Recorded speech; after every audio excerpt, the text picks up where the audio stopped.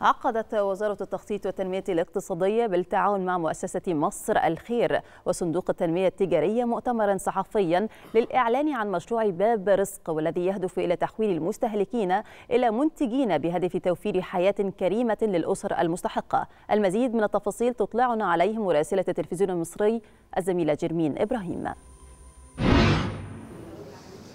بعد التحية نتابع معكم تفاصيل الاحتفالية الخاصة بمشروع باب رزق. هذا المشروع الذي تم إطلاقه تحت رعاية وزارة التخطيط والتنمية الاقتصادية وبالشراكة بين صندوق تنمية التجارة ومؤسسة مصر الخير وذلك بهدف تحويل الفئات المستحقة للرعاية من مستهلكين إلى منتجين قادرين على تلبية احتياجاتهم الأساسية.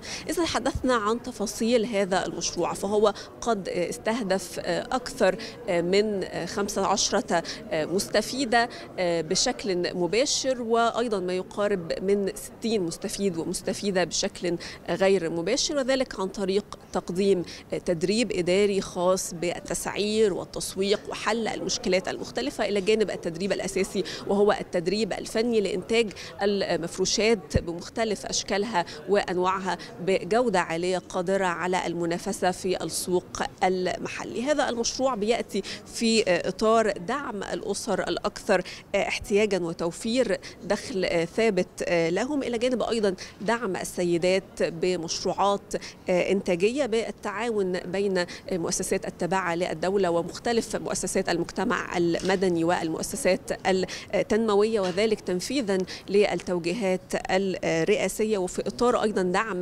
التمكين الاقتصادي للحالات الأكثر احتياجا لتخفيف العبء وتوفير حياة كريمة لكل المواطنين. أعود إليكم مرة أخرى في الاستوديو.